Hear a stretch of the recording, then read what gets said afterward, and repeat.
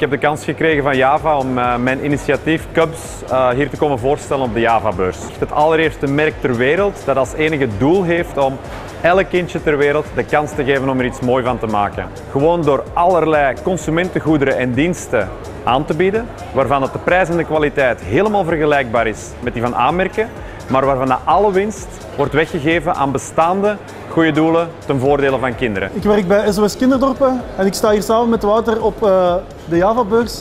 Bij SOS Kinderdorpen zeggen wij, geen enkel kind mag alleen opgroeien. Het is onwaarschijnlijk belangrijk dat een kind een goede thuis heeft. Heel wat kinderen in de wereld hebben dat niet. Wij zorgen daarvoor. Uh, we doen dat in 134 landen, ook in België, met specifieke projecten.